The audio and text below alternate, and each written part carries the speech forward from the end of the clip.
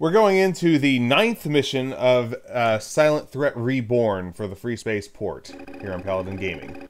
With our victory in the IKEA system, Allied forces have succeeded in eradicating the Shivan presence from almost every corner of Terran Vasudan space. Only one Shivan stronghold remains, the Ross 128 system, site of the first Shivan attack on our territory. The GTA and PVE have deployed all available ships to Delta Serpentis in preparation for the invasion of Ross 128. The assault will be led by the GTD Bastion and the PVD Pinnacle, the finest ships in the Terran and Vasudan fleets. Okay, real quick. Intelligent. With our Okay, real quick, in the IKEA system, Uh, the Intelligence believes the Shivans have enough supplies and warships in Ross 128 to mount a significant defense. Special Ops has been tasked with doing whatever it can to reduce the amount of resistance our fleets will encounter as they scour the system. Our operations will be divided into two phases. In the first phase, our squadrons will perform a reconnaissance in force of the system to determine the optimum Allied attack strategy. In the second phase, after the invasion begins, our squadrons will conduct strategic assaults against key Shivan positions. We will be deploying all available wings on continuous rotation, so when you leave here, report to your squadron leaders for immediate mission briefings. The Krios itself will remain standing by in a hidden location should problems arise during the invasion. I'm just gonna say it was. Re it's really scary that the, there's a jump node from Delta Serpentis to Ross 128 because Delta Serpentis also hosted the jump node to Sol. So that means when the Shivans destroyed Outpost Riviera, they were two jumps from Earth and didn't know it. so I guess the GTA super lucked out. Research and development has made available two new weapons to assist our forces in the invasion.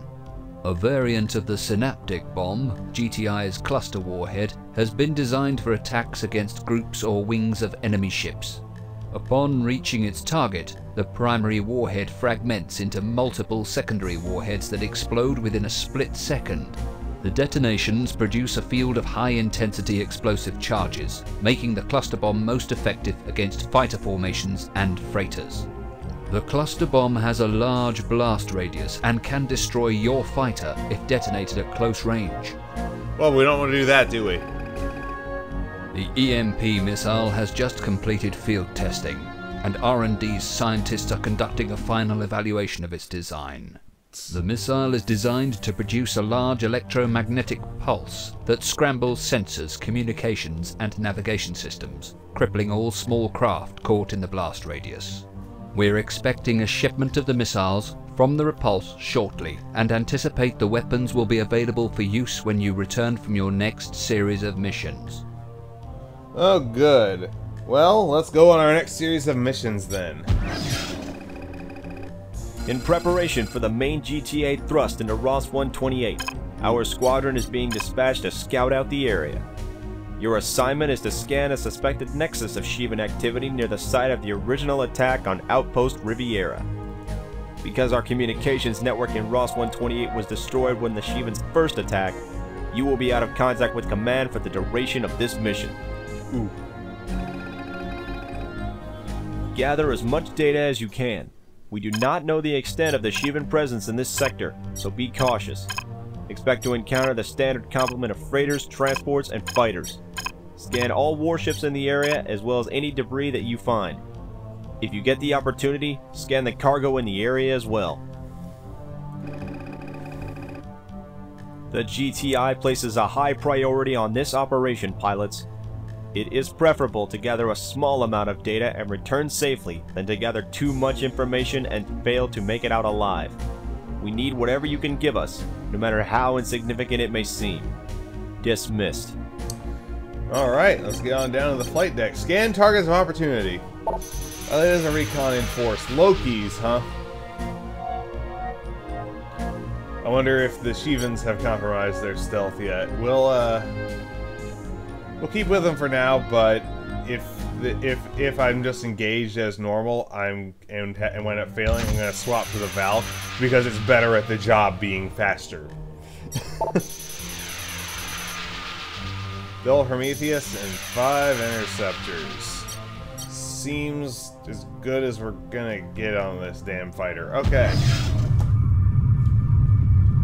Where are the Shivans? This system's supposed to be swarming with them.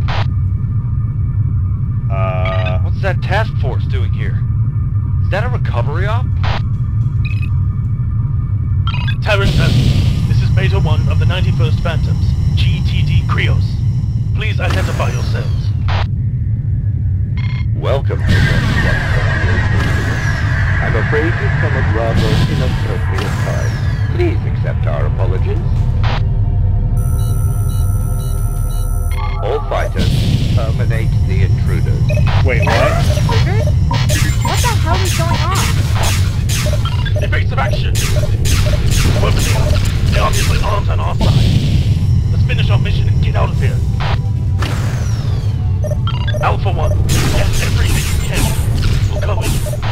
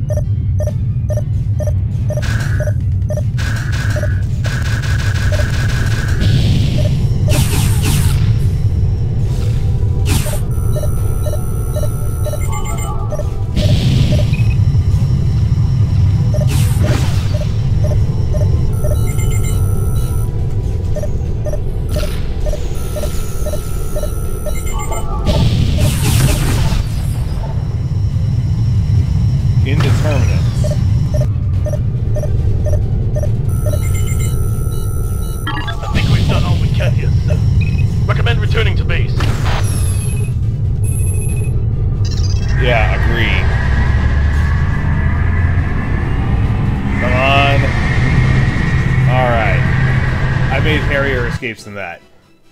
This mission was a surprise for both of us, pilot. Thanks to your scans, we have verified that the cruisers you encountered are GTI ships, originally registered as GTC Odin and GTC Thor. Official records, however, show that these cruisers were destroyed in two separate engagements at the beginning of the Great War. The fact that these ships were present in a highly sensitive sector of Shivan-controlled space at the same time as your deployment is more than a little suspicious. We can only assume that this operation was carried out by a rogue element of the GTI. Thanks to your scan of the Shivan cargo, intelligence may soon be able to determine the motivation and intent of the rogue operation. We are already preparing a preliminary report to deliver to Terran Command. Excellent work. Oh boy. So, uh, that was short. but, uh, that's a mission, so. We will, uh, see you for the next one.